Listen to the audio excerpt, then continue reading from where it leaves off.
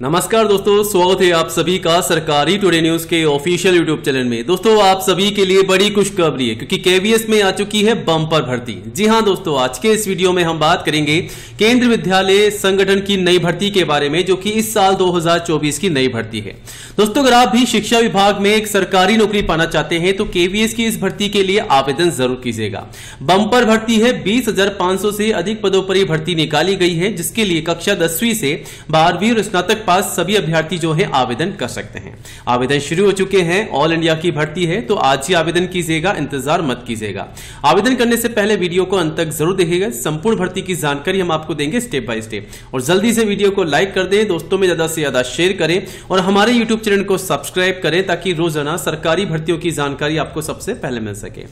तो दोस्तों, ये जो भर्ती निकाली गई है, केवीएस में, ये ऑल इंडिया की भर्ती है। चाहे आप भारत के किसी भी राज्य या ज़िले में रहते हैं तो आप सभी अभ्यर्थी, महिला, पुरुष मेल फीमेल, लड़के लड़कियाँ जो हैं, आवेदन कर सकते हैं। बीस से अधिक पदों पर यह भर्ती निकाली गई है दसवीं, बारहवीं और स्नातक पास सभी के लिए। सैलरी पैंसठ हज़ार रुपए महीना आपको मिल रही है। वहीं उम्र सीमा अठारह से पचपन रखी गई है। ऑल इंडिया की भर्ती है, बिना एग्ज़ाम के सीधी भर्ती है। तो अन्य सभी जानकारी के लिए सीधा आपको ऑफिशियल वेबसाइट पर लेके चलते हैं। दोस्तों, हमारी जो ऑफिशियल वेबसाइट है, वो है सरकारी टुडे न्यूज़ डॉट कॉम। यहाँ पर आपको सबसे पहले नई भर्तियों की जानकारी दी जाती है। इंतज़ार मत कीजिएगा, गूगल में सर्च करके वेबसाइट पर विज़िट कीजिएगा। हम आ चुके हैं Sarkari today news dot com की ऑफिशियल वेबसाइट पर और आज हम बात करेंगे केंद्र विद्यालय संगठन की नई भर्ती के बारे में, यानी कि केवीएस की भर्ती के बारे में। दोस्तों, यहाँ पर बीस प्लस भर्ती है अलग अलग पद है, TGT, PGT, PRT, nurse, coaches, special educator, MTS, clerk, officer, peon, काफ़ी सारे पद हैं। इसके आवेदन आपसे ऑफलाइन मांगे जा रहे हैं। चयन प्रक्रिया केवल इंटरव्यू के माध्यम से है। ध्यान दीजिएगा, आपकी कोई भी परीक्षा नहीं होगी, सीधी भर्ती है।